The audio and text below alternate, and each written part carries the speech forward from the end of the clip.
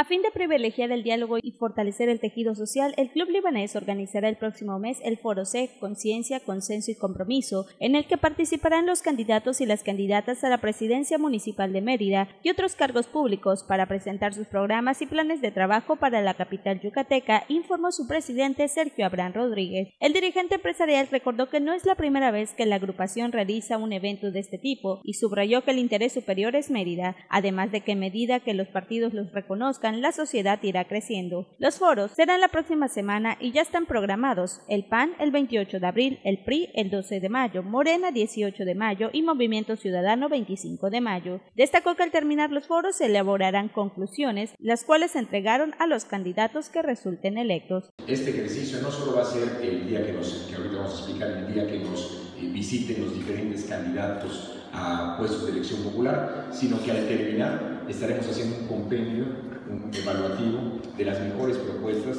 para quienes resulten electos después de la elección de junio, se les haga entrega y eh, puedan ellos no solo enriquecerse con las propuestas de ellos que fueron, eh, que fueron pues, eh, expuestas en este foro, sino con las mejores propuestas de otras expresiones políticas. Es muy importante, nosotros usamos mucho la palabra de competición, hay que competir cooperando, esa es la parte más importante. La competencia sana, es buena, pero también es importante la cooperación. O sea, competimos, hay un ganador, así es la vida en, todas, en todos los momentos, siempre hay un ganador y los que estamos y quedamos, que a veces no quedamos en el primer lugar, pues nuestra obligación es apoyar y coadyuvar a fortalecer el tejido social.